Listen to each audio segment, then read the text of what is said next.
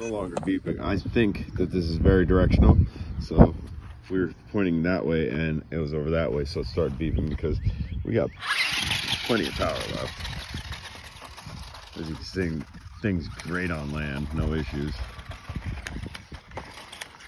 Flips a little bit there. It, it, it does say you can flip it over, but you're just gonna chew up the tires um, and then it won't be that great on the upside down. You can see if you are not in super clean water, you're probably gonna have to clean your axles a little bit as seaweed or grass that's floating around kind of gets in here and what that'll do is that'll cause friction on your motors and eventually cause them to burn out quicker than anticipated.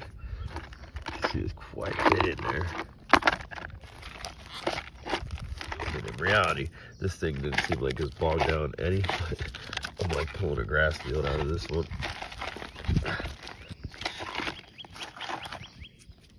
I'll just run it like that.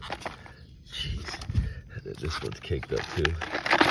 It's all inside the room. See in here. Good stuff. I, I, highly recommend this. It's not super fast in the water. Uh, it's got a little speed on land, and we did do a test. I think we put a GoPro on it and actually test the exact speed that it had. Pretty easy to clean out. There's enough uh, clearance for my big hands, so normal people's hands probably fit in there quite nice. That one's pretty clean. Guys, if you haven't subscribed, these Rat Ollies, super cheap. I don't know that you can get them super cheap anymore. Uh, if you can, grab them. Much fun.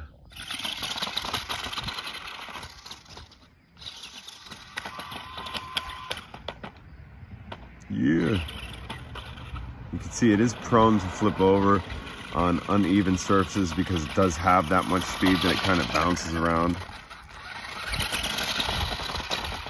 And that's that's still the speed it has after trudging in water like it did. It's good distance. It does too. have an LVC just as well as a uh, uh, low signal RSSI warning, and it's on the controller. Beep beep beep beep beep beep kind of like walking it back home driving it. So it finally kicked. Thing has decent battery decent range decent features for a super toy uh, and it plays on water quite nice. And as you can see if you stop using it we stopped using it the voltage raises up just a little bit. If you're familiar with voltage voltage will sag as you're using it and then it'll stabilize as you stop using it. Um, very visual if you're flying a drone with a readout on it. Guys if you haven't subscribed smash the subscribe button questions comments